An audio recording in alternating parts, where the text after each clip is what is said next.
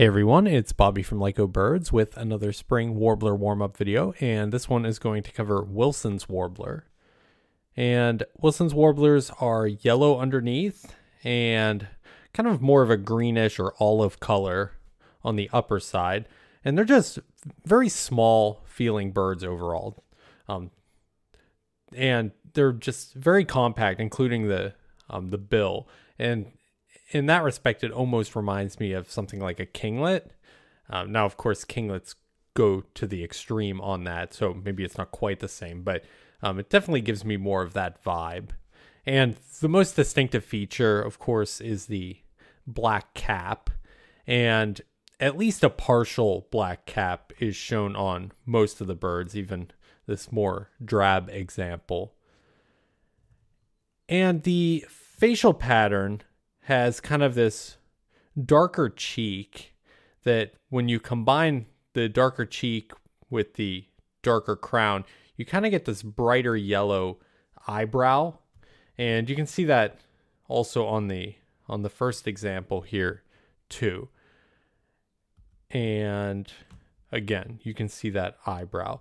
And really the uh, the dark eye also looks kind of large for the head you see, you know, it's a very large eye for the for the head. And another area to focus on would be the tail. Wilson's warblers have dark tails and they're also kind of thin. And the undertail coverts are yellow, which can sometimes be helpful because there's other yellow looking warblers that um, some of them have white undertail coverts. So that can be a, a good way to rule out some of those. And these guys are often down in the brush, and sometimes it's not very easy to get an unobstructed view of them. So you might be looking through branches. And in terms of similar species, probably hooded warbler would be the closest. And of course, male hooded warblers have the full black hood here and not just the black cap. And they also have uh, black throats. And hooded warblers, males and females, both have white outer tail feathers. So um, remember, Wilson's warbler has a dark undertail. So that can be a, a very good way to um, to tell them apart, especially because hooded warbler has a tendency to flash the white uh, in their tails. And then you can see the um, the more drab hooded warblers are probably closer. Um, but notice the the facial pattern here.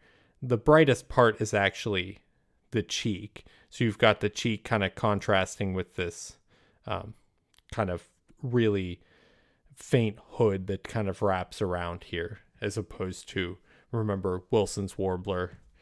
You sort of have this darker cheek with the lighter eyebrow.